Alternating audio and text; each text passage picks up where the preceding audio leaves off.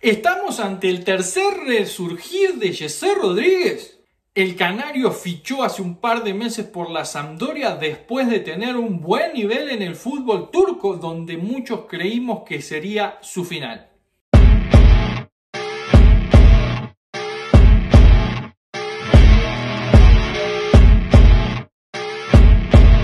Todos recordarán a este futbolista habilidoso que logró debutar por allá de 2011 en el Real Madrid comandado por José Mourinho y que en más de una ocasión levantó a, a la afición del Real Madrid como cuando marcó aquel gol en el clásico contra el Barcelona. Par de años después vinieron ciertas distracciones, las lesiones y en 2016 se marchó vendido al Paris Saint-Germain por 25 millones de euros.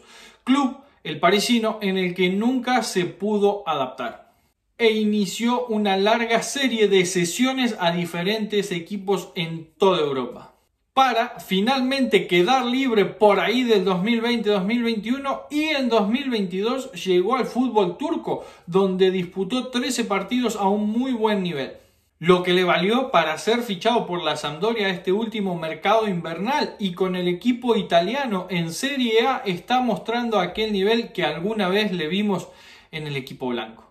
Jesse ha participado en cuatro partidos y se ha mostrado desequilibrante como hacía mucho tiempo no lo veíamos. Esto pone un poco de esperanza en todos esos aficionados que en su momento se animaron a vaticinar a este futbolista como el nuevo Cristiano Ronaldo. Si ya llegaste hasta acá te agradezco muchísimo y te invito a suscribirte o a ver este siguiente video.